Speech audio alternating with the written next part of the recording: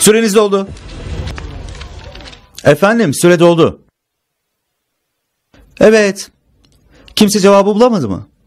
Şimdi sizden bir dakika önceyi düşünmenizi istiyorum. Ben bu soruları sorduğumda sizde heyecan ya da merak oldu mu acaba? Sevindiniz mi? Kimse sevilmedi mi? Efendim? Hayır.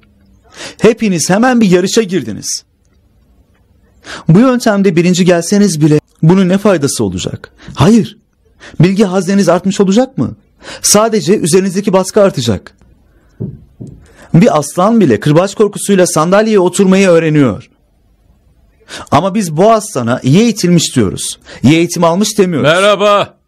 Felsefe dersinde değiliz. Tahtadaki şu iki kelimeyi açıkla sadece. Efendim e, bu kelimeleri ben uydurdum. Arkadaşlarımın isimlerinden. Farhan ve Raju.